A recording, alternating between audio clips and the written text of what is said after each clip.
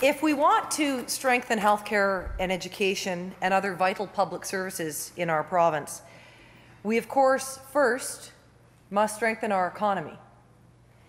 Yesterday, the people of British Columbia were presented with a credible and a bold proposal to do just that. BC businessman David Black made a major announcement with respect to his company Kitimat Clean and his proposal to build and operate a world-class petroleum refinery in Kitimat. Now, Mr. Black needs little introduction.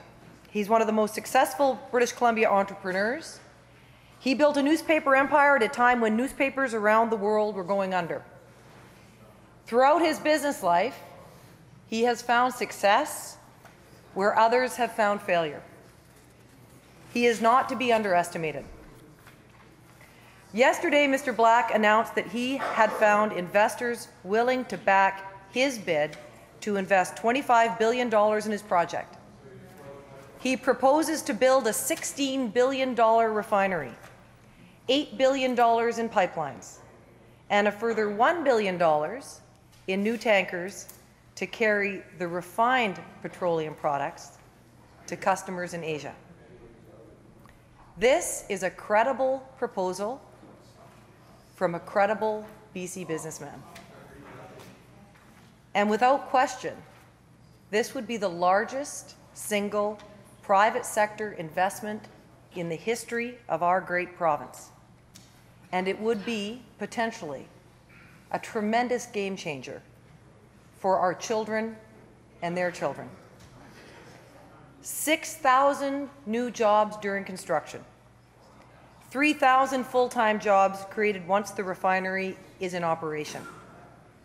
And importantly, Mr. Black's proposal would keep ownership of this proposal, this project, right here at home in British Columbia. I have long said that British Columbians believe in the benefit of environmentally sound economic development and are fully supportive of getting higher value for BC and Canadian goods in markets outside of North America. Last July, our government stood up and put five conditions in place by which we would gauge support for any heavy oil pipelines in British Columbia. Our five conditions are the way to ensure the highest standards for environmental protection and First Nation involvement possible should any heavy oil pipeline go through British Columbia. Mr. Black has proposed a new pipeline across northern BC, and I want to be clear.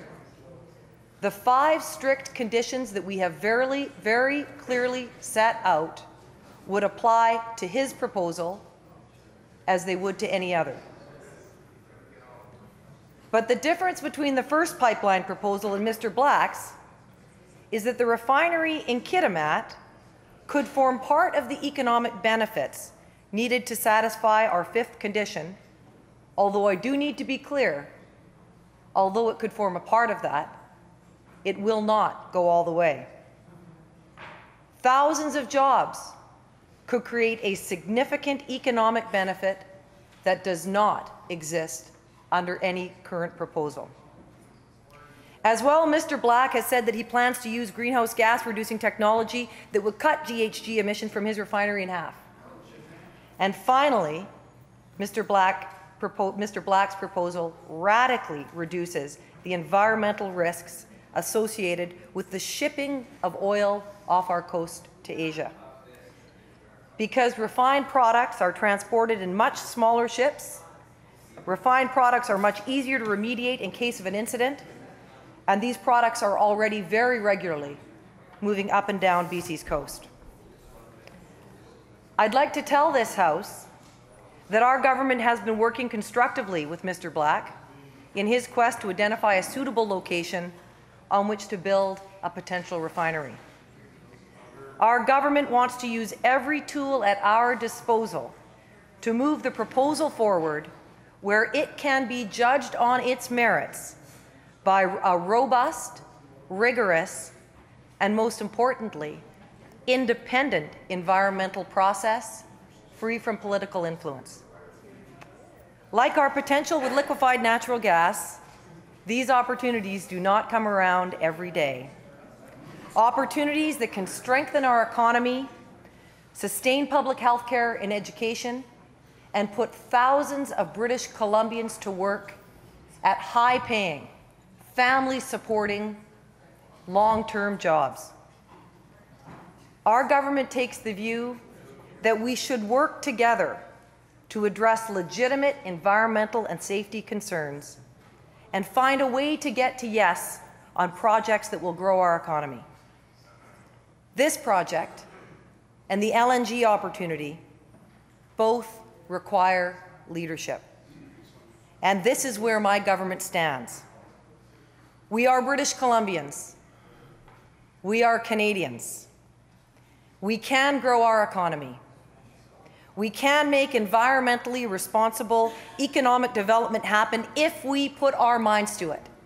If we are clear, if we are consistent, if we are strong minded, we can make economic development happen. We have to take a stand. We have to make sure investors have certainty, clarity, and a fair process. And we have to do that, not just for this generation, but for future generations. Thank you, Mr. Speaker.